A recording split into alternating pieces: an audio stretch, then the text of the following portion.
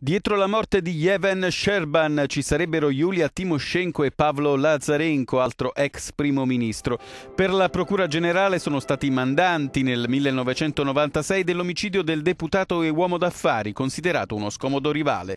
La nuova accusa lanciata venerdì contro la leader della rivoluzione arancione scatena la reazione dei suoi avvocati.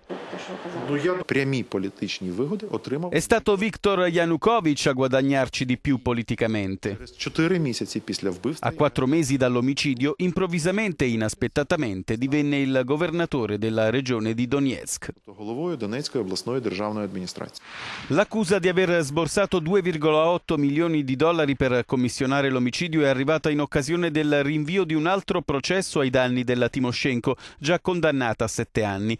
La ex primo ministro era assente in aula perché in ospedale dove secondo i suoi sostenitori versa ormai in condizioni critiche, circostanza smentita dai sanitari ma oggi non è stato consentito a nessuno di avvicinarla.